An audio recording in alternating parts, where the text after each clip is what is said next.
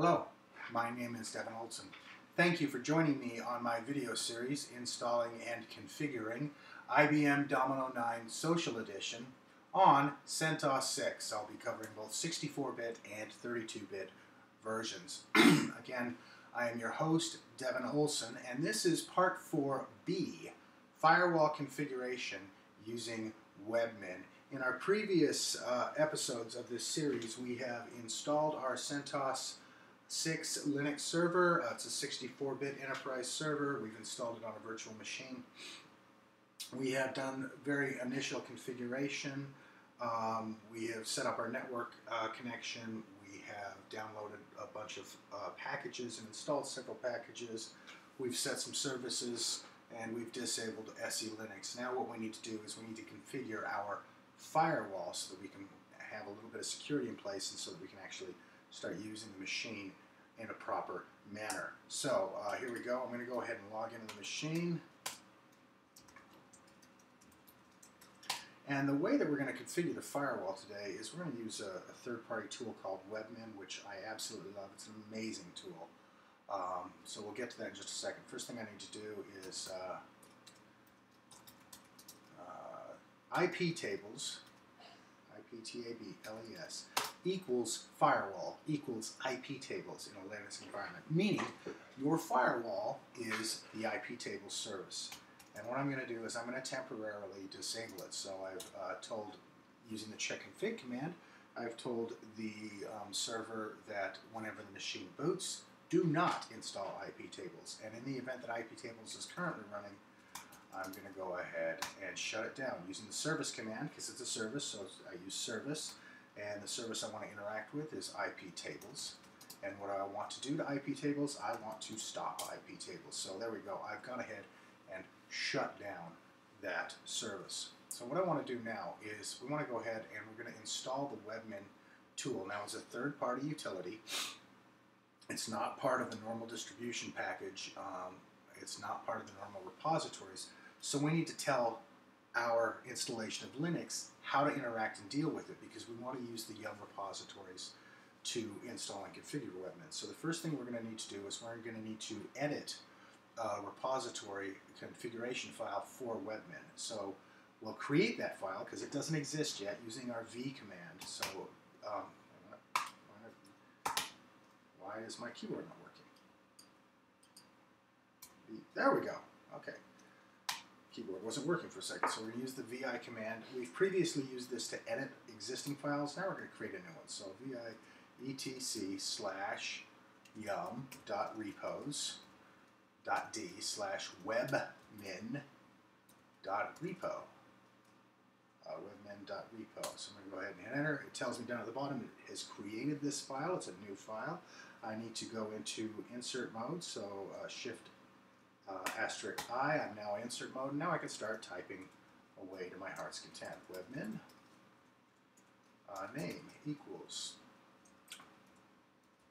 Webmin distribution. D-I-S-T-R-I-B. And it's a neutral distribution, meaning it doesn't really matter what distro, um, T-R-A-L, what distro of Linux you're using, this thing should just run. Um, so it's a distribution neutral uh, pound base URL is http colon slash slash download dot uh, webmin dot com slash download slash yum. Um, where can um, where can yum find the mirror list that it's going to use M Is available at http colon slash slash download dot uh, webmin E-B-M-I-N dot com slash download slash yum slash mirror list. Uh, mirror list equals http colon slash slash download dot webmin dot com slash download slash yum slash mirror list. Okay, and I want it enabled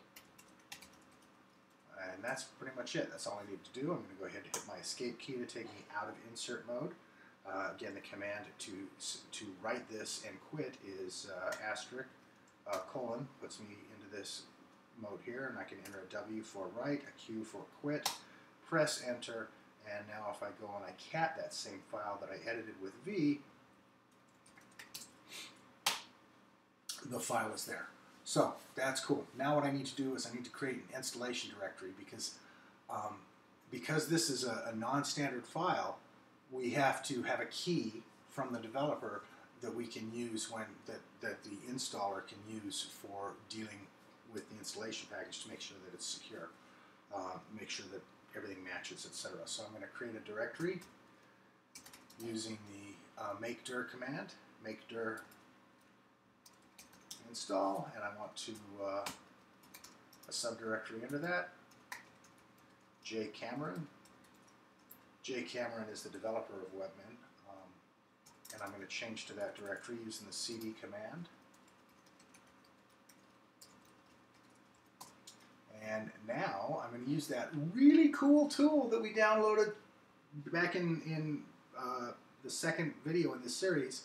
I talked about how awesome it was. It's called W Get W-G-E-T. That's the name of the of the, of the utility we're going to use. Um, it's going to go out and get stuff for us.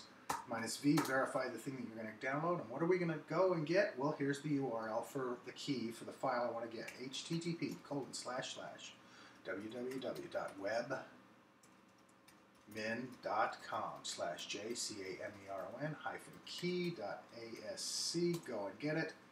We got it. Just that quick. Files right there.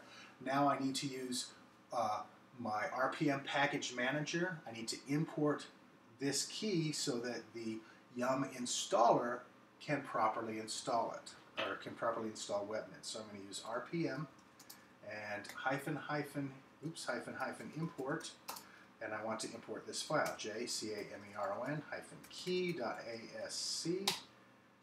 There we go. I've now imported that, that uh, key using the RPM manager. Now I want to install Webmin. Yum, using the standard Yum, minus Y to say yes to everything, install Webmin. And now what Yum is going to do is it's going to go to that uh, webmin.repo uh, configuration file in order to figure out where to find the mirror. So it does that. It's going to go find the mirror there. It's bringing in the file. Found, used the mirror list, found the file. It's bringing it in, and it's going to go ahead and it's going to use J Cameron's key in order to validate and install it once it gets in. So here we go. Um, it's pretty cool. Pretty cool um, in terms of what you can do with the command line. Once we get Webmin installed, we're going to use it to configure our firewall.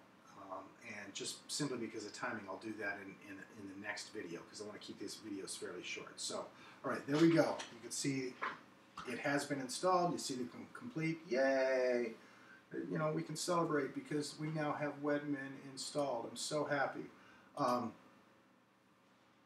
that's the end of this video you can read about Learning XPages and about my my journey learning XPages at my Learning XPages website, www.learningxpages.com. You can read my blog at www.devinolson.net. And if you go to www.notesin9.com, that's a website run by my uh, good friend David Leedy, and it is filled with all kinds of awesome and amazing videos on how, on how to do very, very cool and awesome stuff in Notes.